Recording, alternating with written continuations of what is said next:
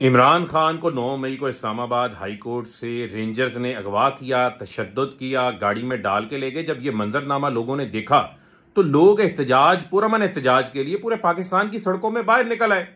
और यहाँ पर आपको बताता चलूँ, चाहे 25 मई हो, चाहे 3 नवंबर इमरान खान कातलाना हमला हो, चाहे 8 मार्च ज़िले शाह हो, चाहे 14 मार्च को इमरान खान के घर पर हमला हो 18 मार्च को इमरान खान के घर जमान पार्क के दरवाजे तोड़े गए हों एफ़ आई आर हों, हमारे पार्टी लीडरशिप को जेलों में डाला हो, अरशद शरीफ का शहीद का कत्ल शहीद किया जा रहा हो, लेकिन इमरान खान ने किसी जगह के ऊपर भी कौम को पुरतशद एहतजाज की कॉल नहीं दी, हमेशा पुरमन रहने का उनको कहा। जब लोगों ने देखा कि उनकी आखिरी उम्मीद को उनसे छीना जा रहा है, जो कि इमरान खान है, उनको गैर कानूनी तौर पर अगवा किया जा रहा है, उनकी जान को खतरा है, एक कातलाना हमला वो लोग कर चुके हैं, जो अभी अगवा करके उनको लेके जा रहे हैं, लोग एहतजाज के लिए बाहर निकले।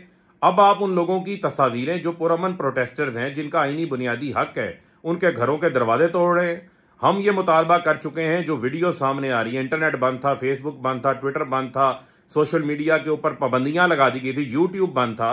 अब सामने आ रही है, नज़र आ रहा है कि पुलिस वाले गोलियाँ चला रहे हैं। सादा कपड़ों में नामालूम अफराद घुस के गोलियाँ चला रहे हैं, वो इश्तियाल फैला रहे हैं, वो लोगों को इंतशार दिलवा रहे हैं जलाओ घेराव कर रहे हैं।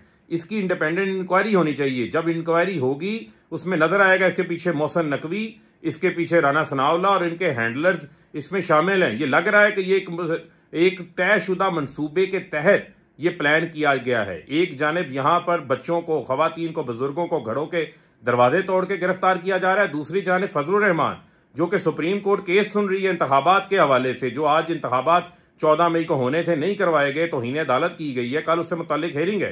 वहाँ पर धरना देने जा रहे हैं। इस्लामाबाद में पीटीआई के लिए दफ़ा एक है।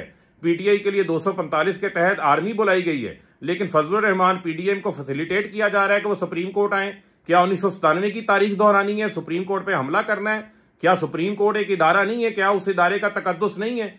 उसके ऊपर भी सबको ख्याल करना चाहिए। फौरी सुप्रीम कोर्ट के तहत एक इंडिपेंडेंट कमीशन बनाया जाए, जो इस इंतज़ार और वायलेंस की इंडिपेंडेंट इंक्वायरी करे।